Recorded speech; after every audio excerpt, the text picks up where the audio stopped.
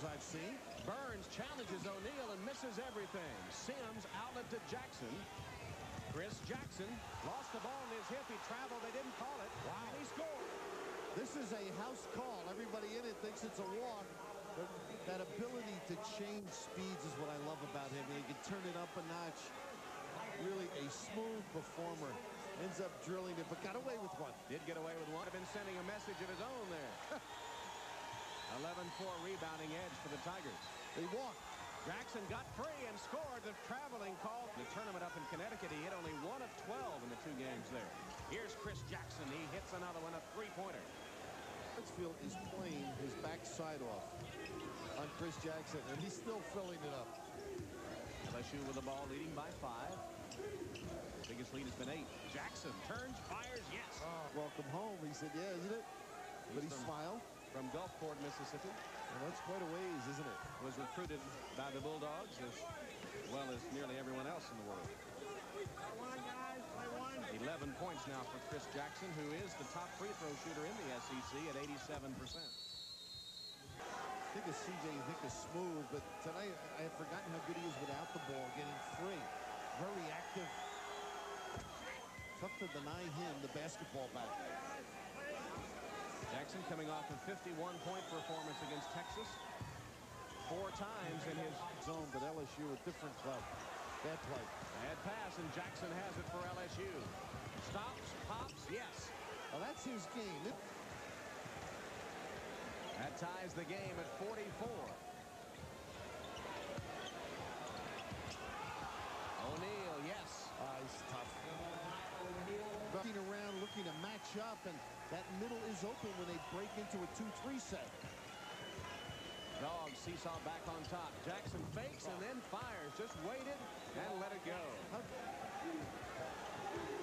Tigers with the ball leading by a point. Jackson between the leg dribble and a foul out on the floor. Hartsfield. Now, there's not much you can do. You really have to try and take away his initial dribble away from the hole in the motion. Bulldogs by two. Inside O'Neal. Steps. Now that will come for him. He will put the defender and the ball in the basket far out. And he's, of course, a great stroker. O'Neal would have just give it up to this guy, right? No bouncing. CJ, no. And rebounded by Carter. One. They'll begin with Chris Jackson at the line here, who's four for four tonight.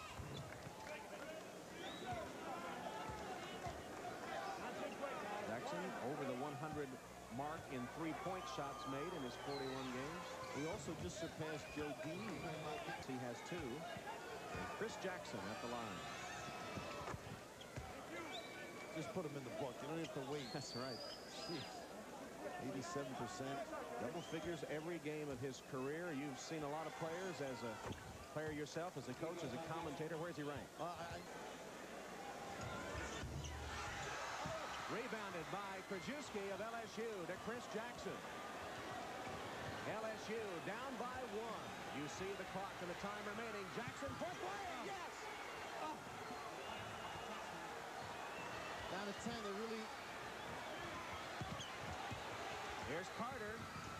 He goes up for the shot. It's good. Two seconds left. Game over. When it's on the line, the crust the tenacity to nail it. Because right now they're unsure whether to call a timeout, and the clock ran down to 10 before they even inbounded it. Who has yet to score in overtime. 3.45 left. Jackson, count it. And you can count on him. Free throw. And LSU has the ball in the hands of Chris Jackson. They trail by six. Jackson, three-pointer, yes. Jackson goes up. Oh, unbelievable. Uncanny. The lead is six. Jackson fakes, shoots the three. What else? Two. They only gave him two. Only two. Yeah. Right, he had a foot. Two free throws. He's not missed at the line tonight. That is his ninth in a row. Let's see if he remembers he's going to get three. Have him turn around and run back or get his defensive stance. Well, he knows. That's 39 points for him tonight. Shooting here for 40. And we've been saying he's not himself. There it is. Expectations are so great. Such a talent. 83-80 Mississippi.